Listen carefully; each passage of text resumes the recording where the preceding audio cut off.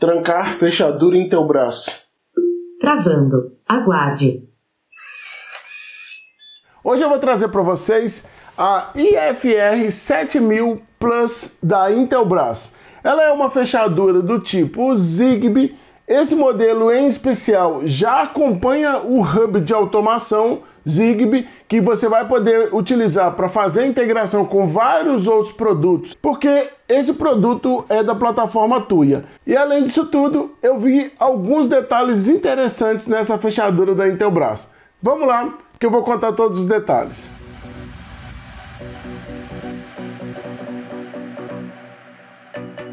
Fala galera! Antes então de eu falar sobre a fechadura da Intelbras, se é a primeira vez está por aqui, já pense em inscrever, ativa as notificações para não perder nada aí quando eu lançar um vídeo novo. E também me segue nas minhas redes sociais, que eu sempre estou postando coisas novas por lá. E se já gostou, não esquece, deixa o seu like, você me ajuda muito. Então vamos falar aqui sobre essa fechadura. O modelo é a IFR 7000 Plus. O link para compra eu vou deixar aí na descrição. E já gostaria de agradecer a Intelbras que me enviou esse produto para fazer os testes e trazer esse review aqui para vocês. E além disso, em breve vai ter mais uma fechadura da Intelbras por aqui. Então, vamos lá. Ela é uma fechadura do tipo Zigbee 3.0, tá? Esses produtos aqui da Intelbras é da linha Easy, tá? Então eles têm vários produtos aí dessa linha como interruptores, relés, sensores, etc. Vários dispositivos. E como a gente sabe, né, essa linha Easy da Intelbras é uma linha da plataforma Tuya. Então também dá para a gente integrar com vários outros produtos aí do mercado. E como ela aqui já tem um hub de integração, praticamente já é o pontapé inicial né, para você montar a sua rede Zigbee. Inclusive, eu gostei bastante pela Intelbras já ter tomado a iniciativa de fazer o produto e já colocar o hub junto, né? Porque ajuda muito aí, principalmente para quem é iniciante, não entende nada de Zigbee, e aí compra uma fechadura dessa depois que vai descobrir que precisa de um hub. Aqui não, o produto já está completinho. Mas então vamos falar aqui sobre ela. Eu já instalei ela aqui em um suporte, né? Primeiramente, o que que eu gostei nesse produto? O visual. Já passaram várias outras fechaduras aqui no canal, né? Vocês podem ver que eu tenho um review de muitas e essa me chamou muita atenção pelo visual, ela é muito bonita, tá? Esse modelo tem maçaneta, ela pode ser instalada tanto para o lado direito quanto para o lado esquerdo, né? Independente da abertura da sua porta, porque essa maçaneta aqui, ela pode ser invertida para você fazer a instalação aí tranquilamente. Suporta portas de 30 milímetros até 60 milímetros, então fiquem de olho nisso aí, né? Mas é praticamente né, quase todas as portas que a gente tem no mercado.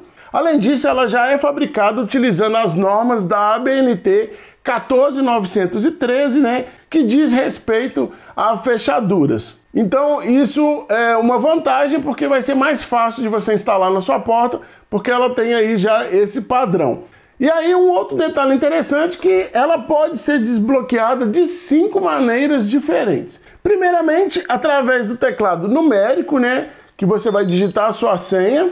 Você também tem aqui o desbloqueio por impressão digital e também por cartão de aproximação. Inclusive, esse cartão, a Intelbras teve uma sacada muito interessante e que eu não tinha visto ainda outras fechaduras, outros fabricantes fazendo isso e que eles foram muito espertos. Por quê? Aqui ela acompanha três cartões para você fazer a aproximação e o desbloqueio. E além disso, a Intelbras envia três adesivos para fazer o desbloqueio por aproximação, que tem exatamente a mesma função de uma tag, só que é um adesivo. Qual é a sacada disso aqui? Você pode colar, por exemplo, atrás das, da sua capinha do celular ou atrás do seu telefone, Dependendo da sua capinha, você pode colocar dentro.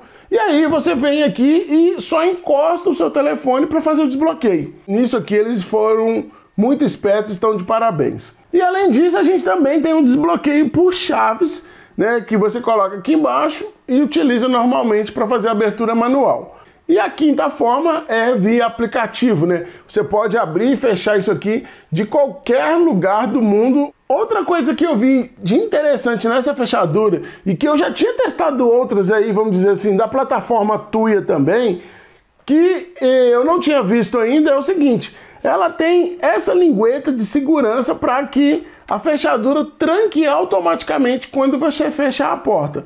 A maioria dessas fechaduras da Tuya que eu vi não tem motor, né? Então são só aquela trava manual. Então nesse sentido já é mais uma vantagem.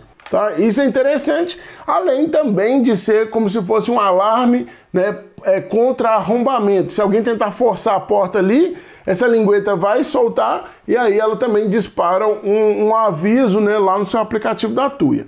Esse aqui então é o módulo que fica externo um detalhe muito importante, não é uma fechadura para uso externo, né? Ela não pode pegar chuva nem sol, ela é para uso exclusivamente interno, tá? Então fiquem de olho nisso. E aqui, esse outro módulo é o que fica na parte interna da sua casa, né? Primeiramente, aqui em cima é um compartimento onde ficam as pilhas, utiliza quatro pilhas do tipo AA e conforme informações da Intelbras, dura até 10 meses. Aqui na parte da maçaneta interna, você tem um botão para abrir e fechar. Então, se eu pressionar, ela destranca e se eu pressionar de novo, ela tranca. E também tem uma chave aqui para você trancar e destrancar manualmente, basta você girar. Nessa parte inferior também tem mais um compartimento, que é algo que eu vi diferente em relação a vários outros produtos Tuya que seria o módulo Zigbee, tá? Você pode retirar esse módulo. Na verdade, ele é mais para você fazer a instalação da fechadura, porque tem um parafuso fica bem embaixo desse módulo, então você retira o módulo. Pode ser interessante que no futuro, às vezes, ela pode migrar, às vezes, de Zigbee para, vamos dizer que tá vindo aí um Matter, então de repente essa fechadura já poderia estar é, preparada. Isso é algo que eu estou falando, tá? Ninguém deixou claro isso aqui não. Mas é interessante por ter um módulo aí separado. Então vamos aqui para o aplicativo que eu fiz a instalação utilizando diretamente até no aplicativo da Tuya para a gente mostrar já que ela funciona e também mostrar lá como que é o funcionamento na Alexa e no Google. Eu já até aproveitei para a gente testar em um hub que funciona com o HomeKit para a gente ver como está a compatibilidade dela aqui e já aproveitando, tá? Fiz os testes no ZHA, no SmartThings, no Zigbee 2 MQTT e no Hub da Sonoff e ela não foi compatível com nenhum deles. Ela é exclusivamente plataforma Tuya, tá bom, gente? Então, vamos aqui no aplicativo. Aqui eu já fiz a instalação dela, tá? Mas para você fazer o pareamento, você precisa do Hub Zigbee. Então você vai vir aqui, por exemplo, em qualquer hub Zigbee que você tenha, tá? Isso é o seguinte, ela é compatível com qualquer hub plataforma Tuya, além do próprio Easy da Intelbras, tá certo? Então basta você adicionar aqui o dispositivo na fechadura, no compartimento inferior, na parte interna, tem um botão, basta você pressionar, digitar a senha de administrador, que é 1, 2, 3, 4 por padrão, e aí ela já vai fazer o reconhecimento aqui no aplicativo, tá? Então a interface dela aqui é o seguinte: primeiro a gente tem esse botão grande que é só para você segurar e destravar. Pronto.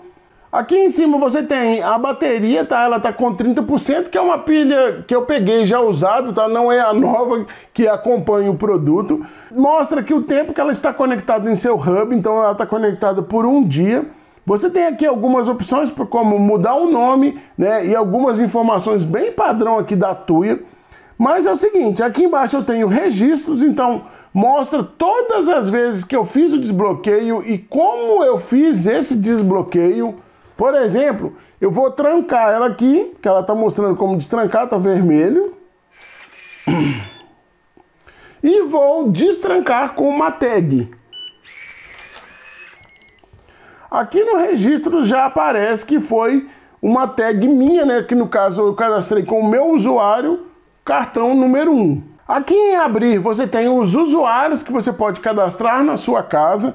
Por exemplo, eu tenho aqui o meu nome e o nome da minha esposa e também posso criar senhas dinâmicas, que seriam senhas temporárias. Vamos dizer que eu venho aqui e crio uma senha dinâmica e coloco que é um uso único ou um uso agendado ou uma senha temporária. Por exemplo, agenda. Todos os dias a sua funcionária né, chega lá de 7 às 8, então você permite que ela consiga abrir a porta de 7 às 8 da manhã, por exemplo. Contas e familiares. Você pode vir aqui, por exemplo, vou pegar esse usuário e vou adicionar uma biometria.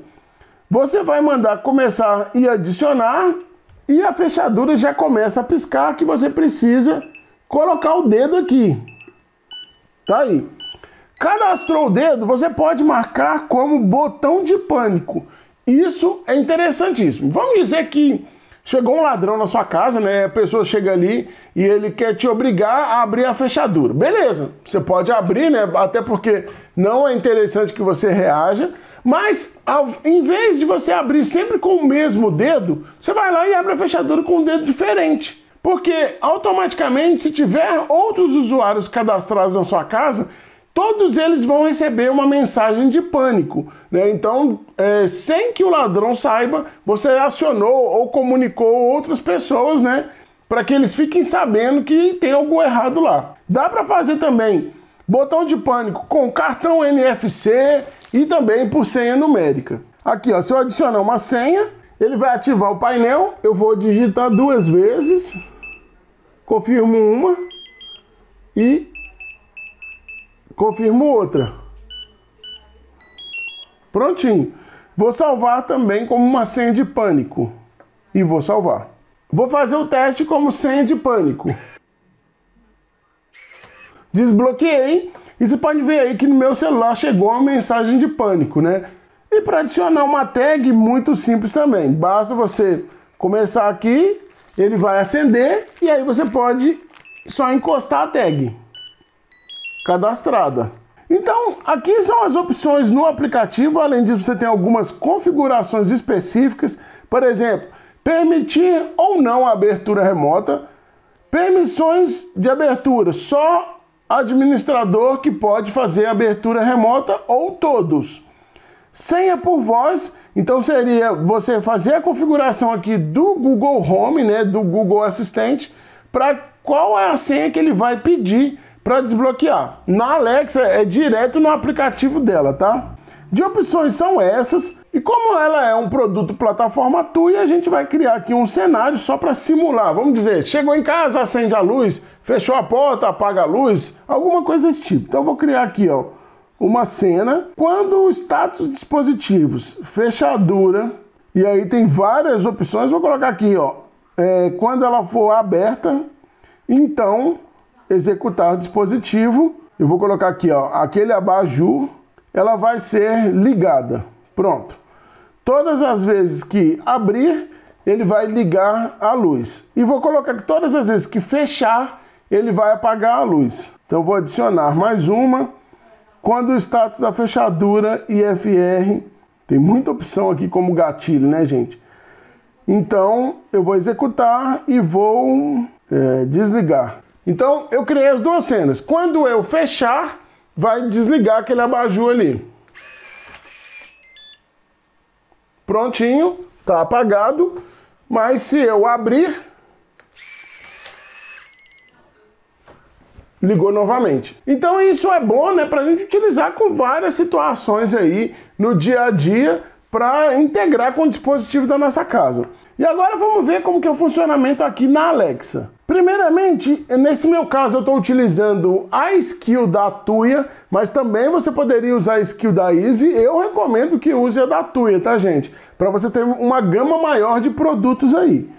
Então eu tenho aqui, ó, fechaduras, a IFR 7000 já está aqui, ela está mostrando como destrancada, eu vou trancar, prontinho, funcionando na Alexa. Se você vier em configurações, no meu caso eu já habilitei desbloquear por aplicativo e desbloquear por voz. No caso de destrancar por voz, você tem que configurar uma senha, tá? Com quatro dígitos para que a Alexa te peça. Por exemplo, Destrancar IFR 7000. Qual é seu código de voz para IFR 7000 mais? 1234. Destravando, aguarde. Ok, bem rápido. IFR 7000 mais está destrancada.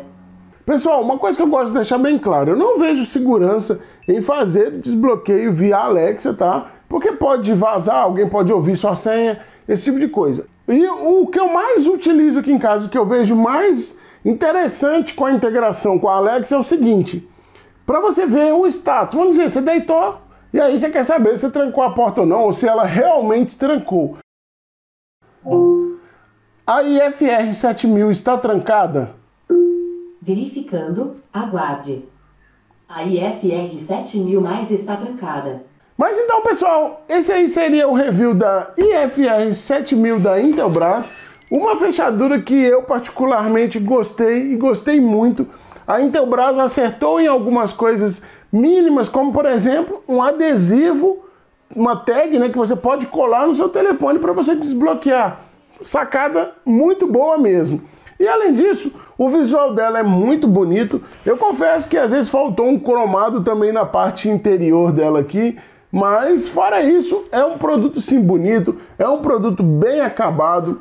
Já acompanha o Hub e isso é muito bom para quem está começando, para quem quer começar agora uma rede Zigbee. Então já acompanha aí, já é um produto completo, vamos dizer assim, porque você não corre risco de comprar e depois tem a surpresa que você precisa ter um Hub para fazer a conectividade dela, tá bom? Então é isso. Se gostou, não esquece, deixa seu like, você me ajuda muito. E se é a primeira vez está por aqui, já se inscreve no canal. Abraço, galera. Até mais e tchau.